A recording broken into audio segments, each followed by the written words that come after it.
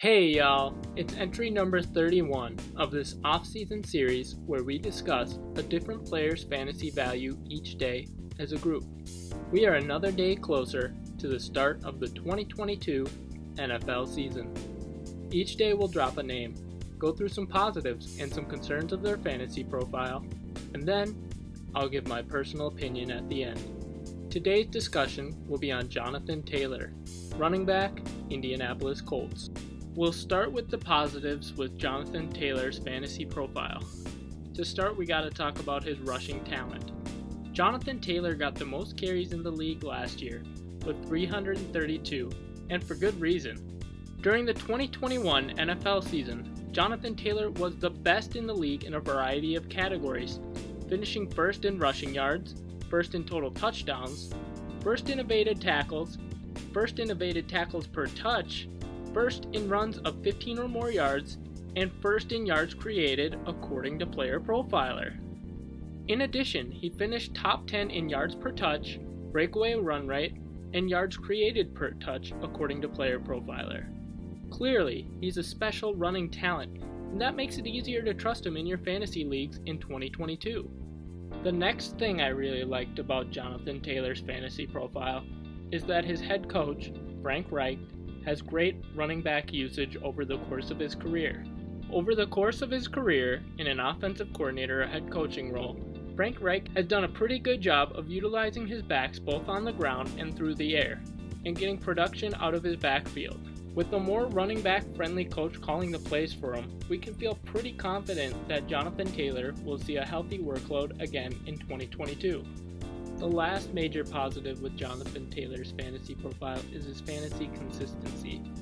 During the 2021 season, in half PPR formats, Jonathan Taylor had 0 out of 17 games with 0 to 5 fantasy points, 2 out of 17 games with 5 to 10 fantasy points, 3 out of 17 games with 10 to 15 fantasy points, 5 out of 17 games with 15 to 20 fantasy points, 3 out of 17 games with 20 to 25 fantasy points, 1 out of 17 games with 25 to 30 fantasy points, 2 out of 17 games with 30 to 35 fantasy points, and 1 out of 17 games with over 50 fantasy points according to fantasy data. He scored at least 10 fantasy points in 15 of his 17 games, 88%, and getting a player with that kind of week to week consistency, as well as the potential to put up monster weeks as well, is very nice for your fantasy lineups since you can set and forget it. Moving on to some of the concerns with Jonathan Taylor. To start, we got to talk about how he doesn't necessarily have the highest fantasy ceiling for 2022 out of all the running backs.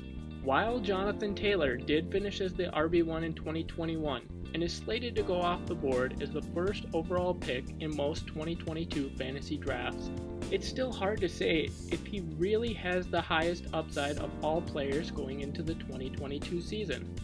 Derrick Henry has averaged more fantasy points per game in each of the last two years. Christian McCaffrey averaged 22.2 fantasy points per game in standard, 25.8 fantasy points per game in half PPR, and an incredible 29.5 fantasy points per game in full PPR during the 2019 season. In addition, he averaged 30.1 fantasy points per game in full PPR formats during the 2020 season. Austin Ekeler was a near equal in PPR last year, with Taylor averaging 21.9 fantasy points per game and Ekeler averaging 21.5. Dalvin Cook's peak in 2020 of 21.0 fantasy points per game in standard, 22.6 fantasy points per game in half PPR, and 24.1 fantasy points per game in full PPR was actually higher than Jonathan Taylor's peak in 2021. If you are just chasing absolute upside in 2022, clearly there are a few players that have stronger potential cases than Jonathan Taylor. The next concern I have with Jonathan Taylor's fantasy profile is the possible red zone and touchdown regression. Jonathan Taylor had 85 carries inside the 20 yard line, first in the NFL. Second place was Austin Ekeler with just 46 carries. 41 carries inside the 10 yard line, also first in the NFL. Second place was Damien Harris with just 30 carries, and 26 carries inside the 5 yard line. First in the NFL, second place was James Conner with 16. According to Pro Football Reference, how much of an outlier is this? Well, the 85 carries inside the 20 was the most in Pro Football References database, which goes back all the way to 1994. Only three other players have gotten over 80 LaDainian Tomlinson in 2004 with 83 carries, Curtis Martin in 1995 with 83 carries, and Emmitt Smith in 1995 with 81 carries. The 41 carries inside the 10 was the most since LeGarrette Blount in 2016 with 42, and the 26 carries inside the 5 was the most since Arian Foster in 2012, who also had 26. It would be incredibly difficult for Jonathan Taylor to see around the same red zone usage again during the 2022 season, and it's probably safe to expect some regression to the mean here, and likely fewer rushing touchdowns. The last concern with Jonathan Taylor's fantasy profile is whether or not the Matt Ryan acquisition will lead to the Colts passing more. The Indianapolis Colts got rid of Carson Wentz after he failed to lead the team to the playoffs and sent him to Washington. To fill their starting quarterback spot, they made the move to acquire former Atlanta Falcons quarterback Matt Ryan. Ryan has thrown at least 20 passing touchdowns in every season of his career, besides his rookie year, and has averaged 269.1 passing yards per game over the course of his entire career, according to Pro Football Reference. With a likely quarterback upgrade, there's a very real chance that the Colts pass a little more and scale back Jonathan Taylor's workload slightly.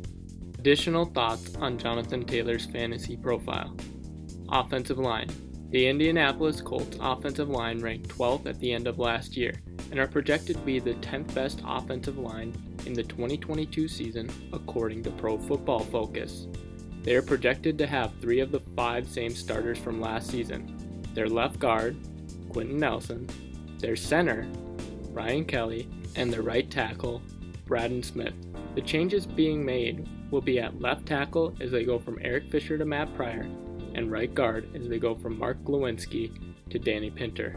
Jonathan Taylor finished as the RB1 in standard with 333.1 total fantasy points and 19.6 fantasy points per game, RB1 in half PPR with 353.1 total fantasy points and 20.8 fantasy points per game, and the RB1 in full PPR formats with 373.1 total fantasy points and 21.9 fantasy points per game during the 2021 season, according to Fantasy Pros.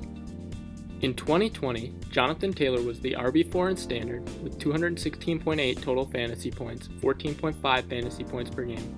The RB6 and half PPR formats with 234.8 total fantasy points and 15.7 fantasy points per game, and the RB6 in full PPR formats with 252.8 total fantasy points and 16.9 fantasy points per game, according to Fantasy Pros. Personal opinion Jonathan Taylor is going off the board as RB1, about pick 1.5 overall on ESPN, and RB1, about pick 1 overall on Yahoo. Do I necessarily believe that he's going to finish as the number one overall fantasy running back in 2022? No. There are quite a few players that have already flashed similar or higher ceilings than Jonathan Taylor, and that doesn't include the possibility of other players breaking out in 2022. Do I think that he's the safest bet to finish at least as an RB1 during the 2022 season? Yes. With the first overall pick, you are looking for the safest player that could potentially finish as the top player in fantasy, and Jonathan Taylor is the safest running back that you can draft this year. He's young, finished as the RB1 overall last year, has shown some dual threat capabilities, plays behind an above average offensive line, has a coach that has a solid track record utilizing running backs, and got a QB upgrade. My personal preference for this year, and most years in general, is to have a pick in the mid to late first round, but if I get dealt first overall, I'm taking Taylor. For each of these entries, we will highlight a charitable cause or organization. Jonathan Taylor's My Cause My Cleats in 2020 was for No Kid Hungry. Here's a link to that organization below. And that's it for today's entry. If you enjoyed this entry, be sure to like and subscribe.